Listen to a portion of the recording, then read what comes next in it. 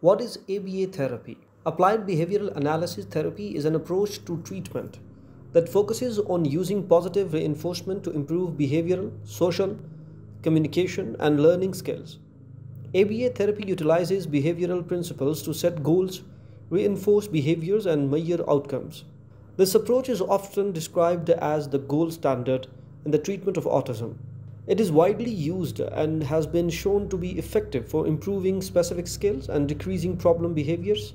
It is also controversial because it has been seen as disrespectful and even dehumanizing at times. ABA therapy is rooted in the principles of behaviorism, particularly operant conditioning and the use of rewards and consequences to mold behavior. Types of ABA therapy A number of different types of interventions can be used as part of ABA therapy. Discrete trial training, DTT. Discrete trial training, DTT, involves breaking a skill down and teaching it step by step. The three components of this process include the antecedent, a cue that triggers the behavior, the behavior, the response to the cue, the conclusion. What happens after the response? When the behavior has been successfully produced, the individual will receive positive reinforcement but will not be rewarded if they do not successfully produce the desired response. Early intensive behavioral intervention. This approach may be used in young children to teach social, adaptive communication, and functional skills. It is usually highly individualized, intensive, and comprehensive. Early start Denver model. This technique is based on applied behavior analysis and is often used for children with autism between the ages of 12 and 48 months. It utilizes play activities to help foster cognitive, social, and language skills. Natural environment training. After people have acquired skills through discrete trial training, they then begin learning and practicing those skills in more natural environments. For example, a child may learn a specific skill and then begin practicing it at home or in school.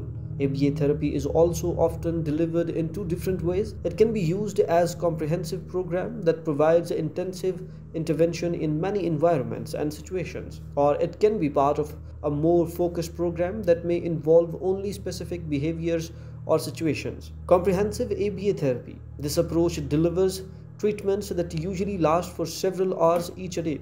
A therapist or behavior technician works with the individual for at least several hours each week and often in different contexts, such as in both home and school settings. Therapists work directly with the individual but may also work with parents and caregivers to teach skills that can be used outside of ABA therapy sessions. Focused ABA therapy. This type of treatment may focus on helping an individual in a specific situation where they are facing difficulty.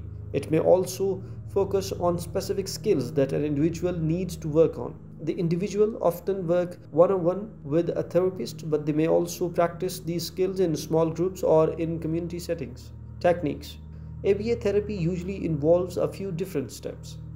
Treatment plans are tailored to the needs of the individual. Assessment Assessment is the first step of ABA therapy.